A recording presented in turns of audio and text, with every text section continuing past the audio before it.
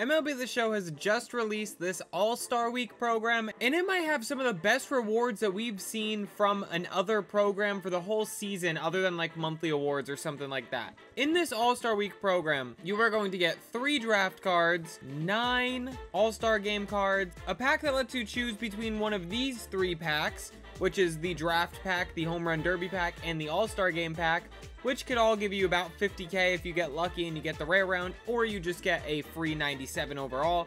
And it also gives you a non-auctionable any one of the 99s from those three packs. So you could get Yandy Diaz, Randy Arozarena, Vladimir Guerrero Jr., or one of the draft cards. That is a really good pack. This is probably the best pack that they've released all year from a program that's not a collection-based thing. I'm sure you want to do this program, and I've completed it. As you can see, I didn't want to make a video on this program until I had completed it, so I could tell you guys the best way to do it, and prove to you guys that it works the way that I did it. It took me a couple of hours, and then it's done, and then I haven't opened my pack yet. I'm going to save it for a pack opening video, but I do have the pack right here. I also got all of these Diamond Duos packs while doing this as well. This Diamond Duos pack, which is really good because these are the 40k value packs. That's really good to see. And then also five more Diamond Duos packs from the Conquest. Now, I also got the 40k pack from the Conquest as well, but I'll get into that in a little bit. So the first thing that you're going to want to do when completing this program, like every other program, is you're going to want to go through and complete every single moment. Some of these moments are a little annoying, like this one that is a three-inning game with one of the draft squads in Future Stars players, and another one where you have to come back in the eighth inning and end up winning as the National League in the All-Star game.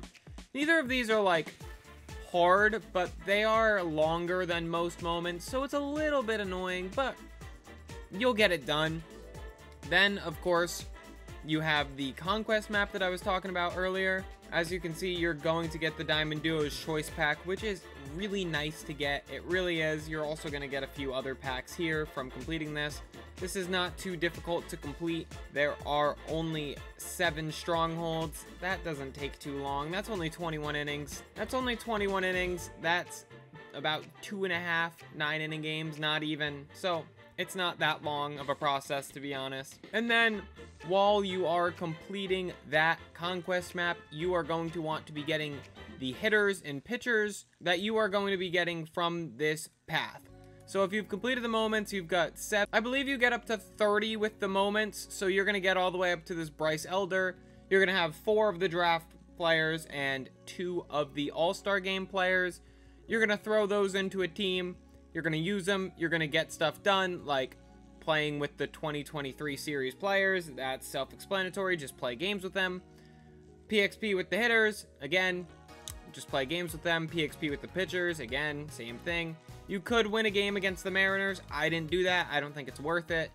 And then also getting PXP with All-Star Week program players. So those are the players from this program. So the draft players, the Kodai Senga, the Bryce Elder, George Kirby, Austin Hays, whoever is in that program, you can complete that with.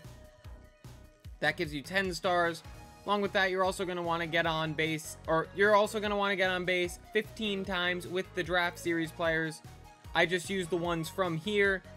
On base is getting hit by pitch, getting walked, or getting a base hit. That's really easy to do. That's basically just 15 singles with those cards. 30 strikeouts with these All-Star Series players. If you're using these cards in the Conquest, you should be able to get around 30 strikeouts just from those 7 games. Again, if you're playing with these cards in Conquest, 18 innings pitched is not very difficult because you're just doing it in the Conquest. And then along with that, you can also complete the hits with All-Star Series players. I didn't have to do that one. And also home runs with Home Run Derby Series players.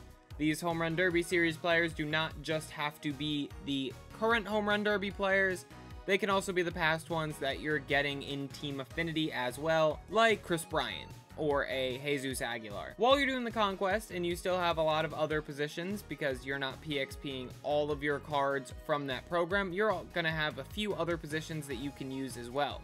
And with those other positions, you're want to fill them up with these captain cards or these bosses or these classic cards from Team Affinity so that you're knocking out two birds with one stone. You can be knocking out the Team Affinity while you're knocking out the Draft program, which is what you want to be doing because you're completing multiple things at one time, you're getting closer to multiple set collections at one time, and you're getting closer to that free 99 overall pack. So that's what you're going to want to do.